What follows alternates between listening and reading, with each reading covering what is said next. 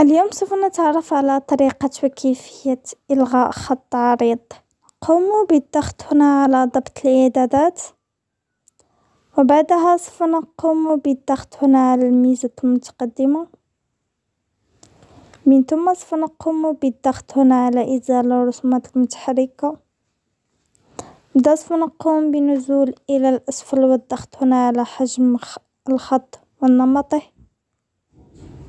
وبعدها سوف نقوم بالضغط هنا على خط عريض وبهذه الطريقة نكون قد قمنا بإلغاء خط عريض وهكذا نكون قد قمنا بحل المشكلة ولا تنسوا الضغط على زر لايك والاشتراك في القناة ونراكم في فيديوهات القادمة إن شاء الله